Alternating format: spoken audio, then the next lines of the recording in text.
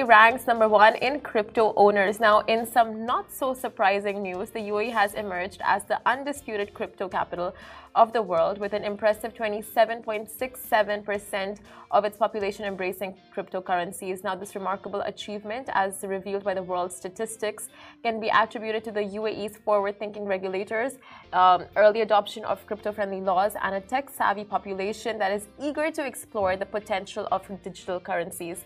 Dubai, along with the rest of GCC, has positioned uh, itself as a hub for innovation and tech.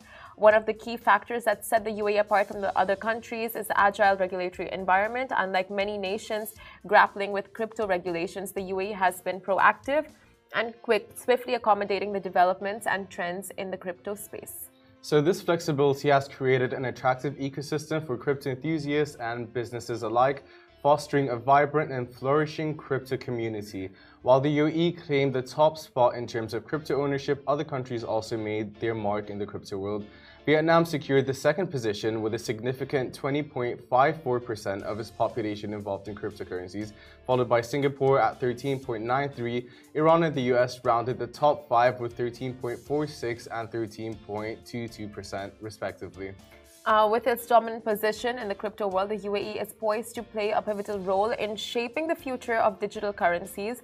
The government's continued support for innovation and its focus on fostering a thriving fintech ecosystem provides a strong foundation for further advancements in the crypto space. As blockchain technology continues to mature, the UAE is likely to attract even more crypto enthusiasts, businesses, and investors, solidifying its position as a global leader in the crypto revolution. With the UAE at the forefront, the world eagerly watching, uh, the world's eagerly watching as the crypto revolution unfolds in the dynamic and innovative nation. So this story, just a side note here. So we do a crypto show on Smashi TV, our sister company. Subscribe to Smashi.tv for more. And um, I had two interviews in the last two days, and just hearing how businesses are moving and shifting their entire, the whole businesses to Dubai because of the regulations, because the regulations make sense, because there is some sort of framework that gives these businesses an advantage. Like Dubai is the place to be, and also just with like how fast everything's moving along. Yeah. The only place in the world where you see like development and the government and just organizations all around making a difference is UAE, specifically Dubai. Yeah, you know, I honestly hope I mean, I'm sure it's already there, but I want something in my like orbit to just show up of like crypto for dummies that really explains yeah. how this works, like crypto and blockchains, how you can invest and how to make sure that investment is fruitful and how to use the your uh, crypto and bitcoins for like further payments and transactions. Yeah, but you're an investor. You've invested, right? I have. It's just sitting there. I have no okay. idea how to take it out. I have no idea what to yeah. do with it now. I don't know if it's yeah. growing or not. The numbers confuse me to the max. yeah. I mean, to the T.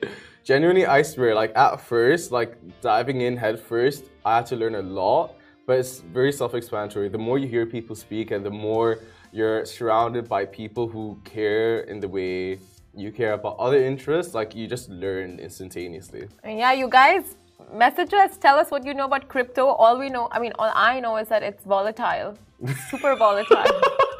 Cryptocurrencies. It is. It is. Uh-huh. But every investment is. Volatile. No, crypto.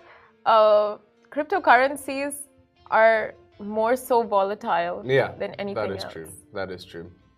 But yeah, if you guys have more like you know phrases about cryptocurrencies that you can just throw in there. That's actually very funny. That's the one thing here everyone say. So volatile. So volatile. It's really volatile. Like it's more volatile than it was last week.